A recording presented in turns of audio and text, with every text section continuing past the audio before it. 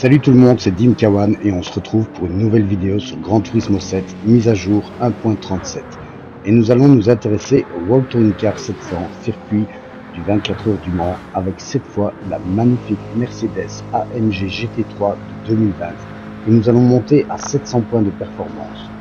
Présentation du véhicule et des modifications, explication du réglage de consommation en course, ravitaillement et choix des pneus avec une méthode différente des vidéos précédentes. Tout dans cette vidéo est fait pour terminer premier et gagner 825 000 crédits. Je ne dis pas que c'est la meilleure méthode, mais je l'ai testée et elle fonctionne parfaitement. Alors, fini le bavardage, on passe au vif du sujet, c'est parti. Pour commencer, il faut acheter le véhicule. Donc pour ça, vous allez dans Brand Central. Vous allez en Europe, Allemagne, AMG, Showroom, et vous achetez la Mercedes AMG GT3 de 2020. Une fois que vous l'avez acheté, on sort.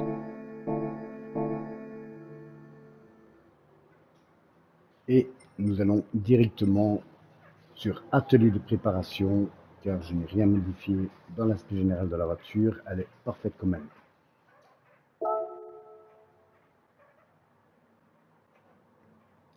Donc ici, je vais passer sur chaque fiche et si vous avez la même chose que moi, c'est que vous avez tout ce qu'il vous faut.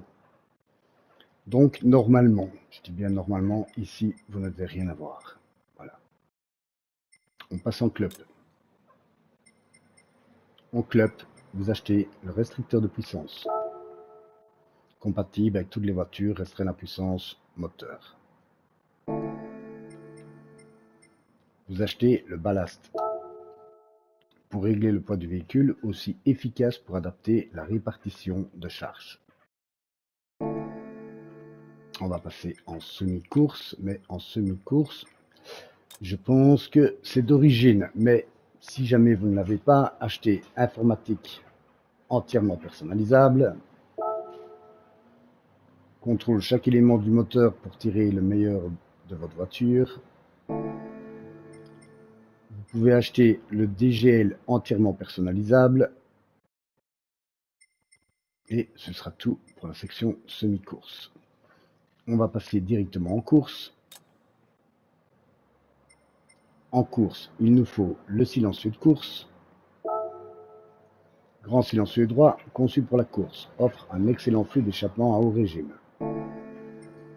Il nous faut un kit de frein de course.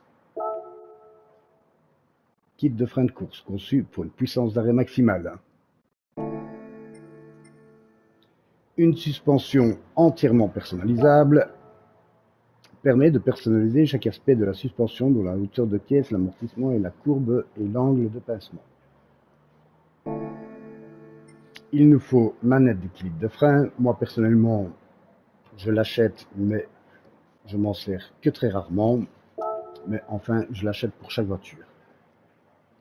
Règle l'équilibre des freins avant-arrière pour optimiser la stabilité pendant le freinage. Mais ça, je pense que ça dépend un petit peu la conduite de chaque pilote. Ici, vous achetez les pneus course dure.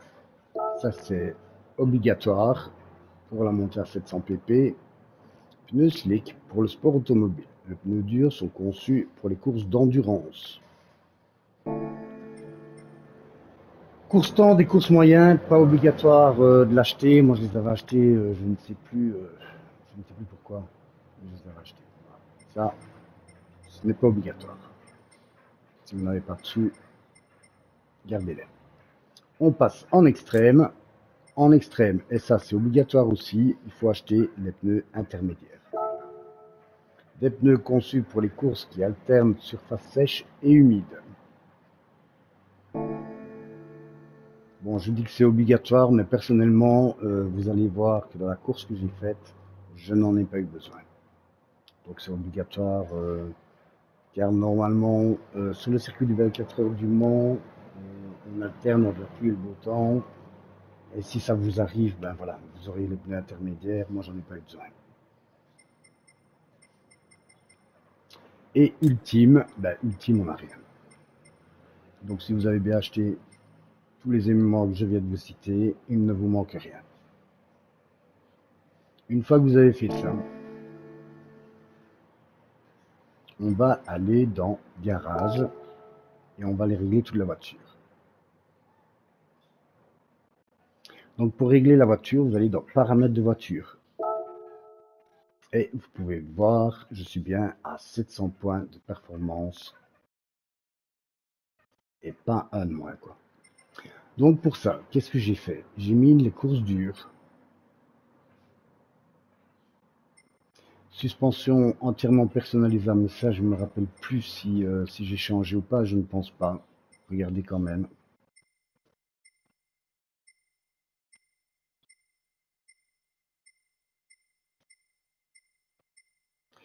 Différentiel entièrement personnalisable, je ne sais plus non plus si j'ai changé quoi que ce soit, on a regardé donc. Coupe initiale, arrière 7, sensibilité à l'accélération, arrière 30, sensibilité au freinage, arrière 40. Hop, on passe à côté. Transmission normale. Et ici, par contre, ça c'est important, il faut bien changer le ballast. Donc vous mettez ballast sur 72 kg. Positionnement du ballast à 9, restricteur de puissance à 90. Alors, vous allez sur EQ entièrement personnalisable. Donc ici, un entièrement personnalisable. Vous mettez réglage de puissance sur 98. L'appui qui est aussi important, vous mettez avant sur 350 et arrière sur 700. Alors, on peut voir, il n'y a pas de turbocompresseur, l'anti-lag aucun, système anti-lag désactivé, refroidisseur intermédiaire aucun, compresseur aucun, épurateur d'air aucun, silencieux de course, collecteur d'échappement aucun, système de freinage, course, disque frein à fente, plaquette de frein normale, frein à main normal, automatiquement il n'y a pas de réglage, ici normalement vous ne devez rien avoir, arbre de propulseur, on n'en a pas mis, embrayage de volant, embrayage et volant normal, angle de direction arrière 0, système de direction à 4 roues aucun, type d'angle de direction normal. Donc si vous avez bien fait tous ces réglages là, vous appuyez sur triangle et vous êtes bien à 700 points de performance. Donc une fois qu'on a fait tout ça, il ne nous reste plus qu'à nous rendre en course. Et pour ça, on revient au menu principal. Et nous allons sur Circuit mondiaux.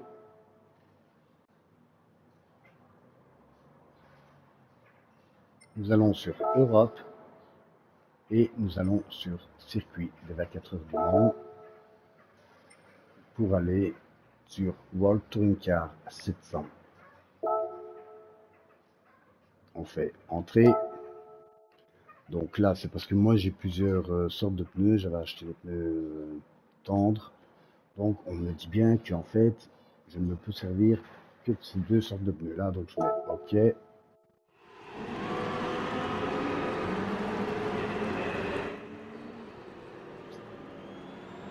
Donc là, je vais euh, vous expliquer une autre façon de faire avec la Mercedes.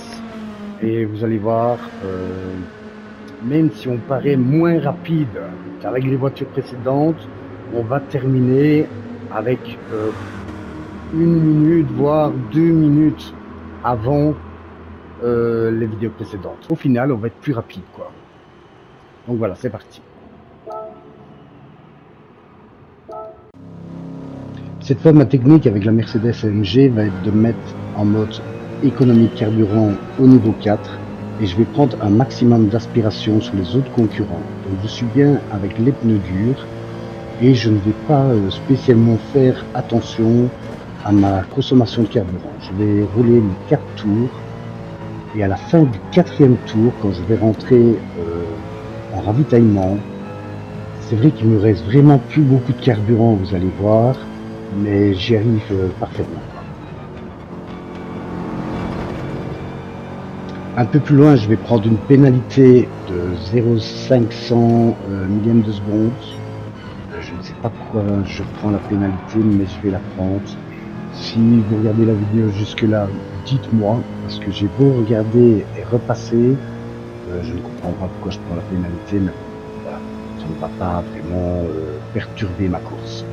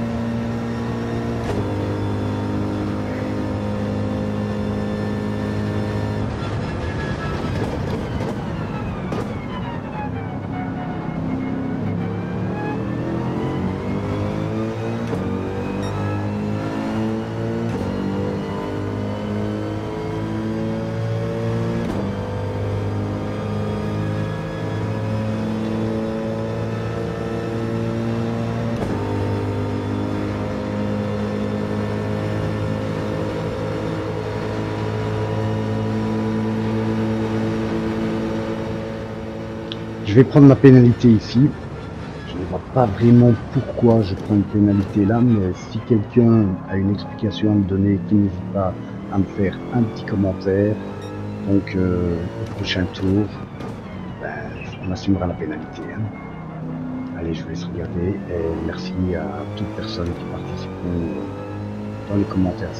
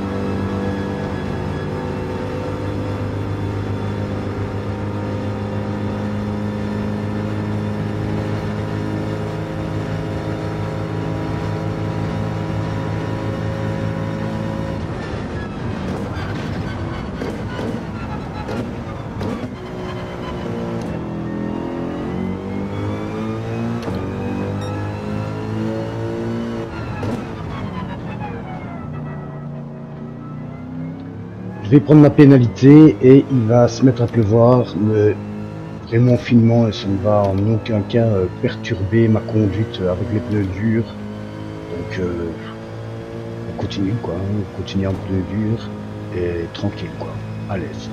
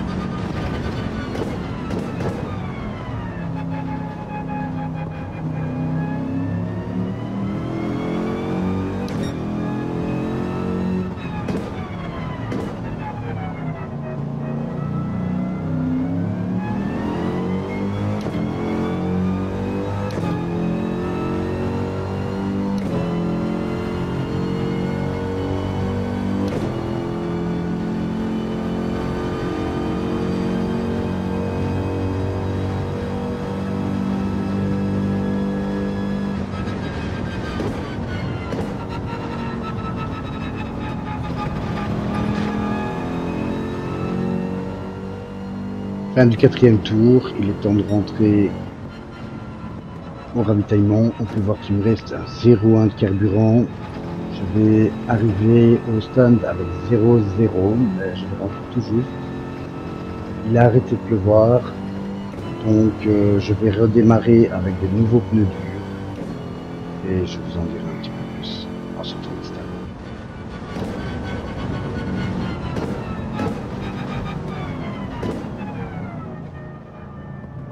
Voilà, je rentre au stand, on peut voir, hein, il me reste 1% de carburant. Donc là j'installe des nouveaux pneus durs et on va faire le plein.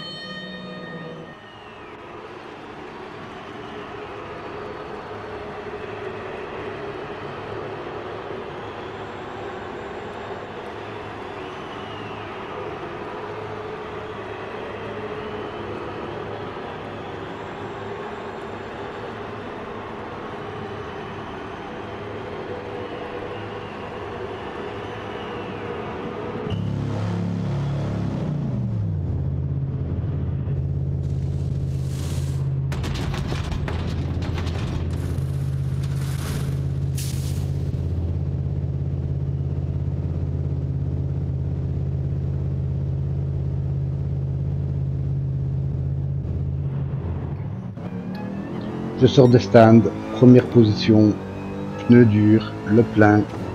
Je reste en économie 4 et nous changerons un petit peu plus loin le mode d'économie.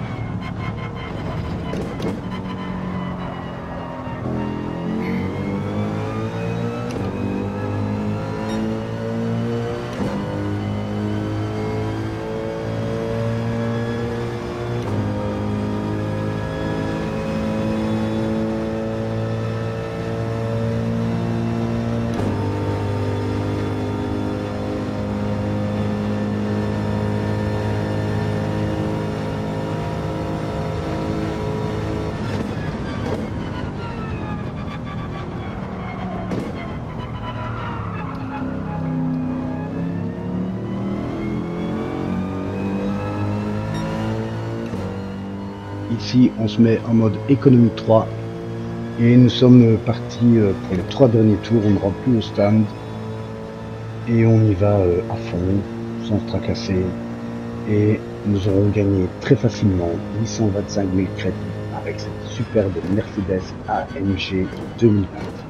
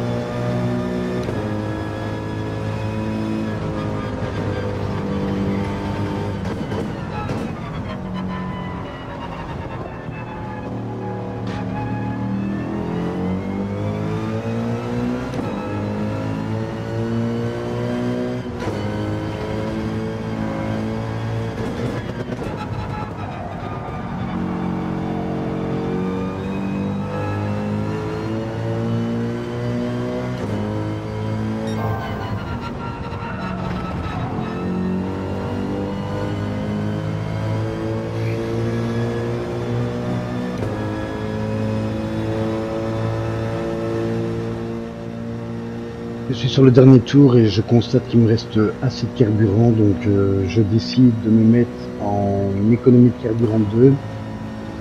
Et je vais continuer comme ça jusqu'à la fin, jusqu'à la ligne d'arrivée.